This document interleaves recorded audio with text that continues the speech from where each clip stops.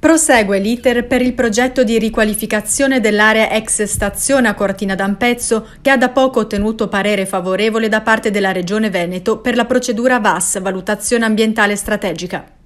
Così Benedetto Gaffarini, assessore tra le altre alla pianificazione urbanistica e viabilità di Cortina d'Ampezzo, si dice rincuorato per lo stato di avanzamento del progetto. Abbiamo solo qualche prescrizione che riguarda la fase di cantierizzazione, quindi si parla già di cantierizzazione e questo mi rincuora molto.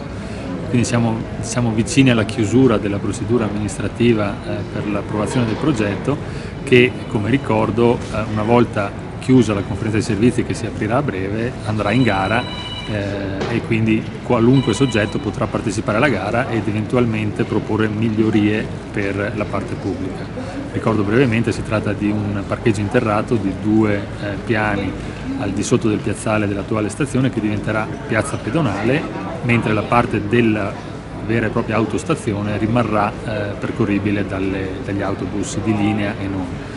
Eh, dopodiché ci, saranno, ci, sarà la ristrutturazione di tutti gli edifici esistenti che ricordo sono vincolati quindi non possono essere eh, né demoliti né sostituiti.